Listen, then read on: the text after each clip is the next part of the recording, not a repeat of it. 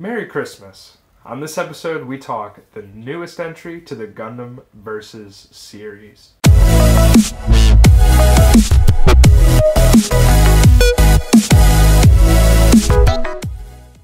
Hey new types, what's going on? My name is Spencer. I hope everyone had a great holiday. I know I've been working hard to keep this channel afloat. I rebranded this entire channel, so I hope everyone watching, you know, had a great time with family and friends, whatever you do for the holidays. Now that the craziness is over, we can get back into some awesome gaming news from Japan.